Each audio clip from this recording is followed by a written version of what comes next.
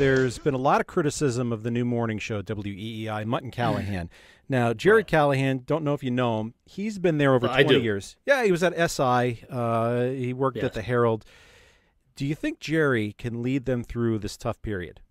what Entercom is wondering right now is can Gerry be Gerry? Because when you have Gerry backed up by Zambrano, backed up by Mark Hannon, backed up by David Field, you have a pretty good chance. Can Gerry be Gerry? And right now, Entercom doesn't think Gerry can be Gerry right now. But, but you know what? Because right now, they're leaning towards Mark James leading the charge in the morning drive. But can Gerry be Gerry? Because when Gerry's Gerry, he's Don Imus. Don Imus. And Don Imus started my career.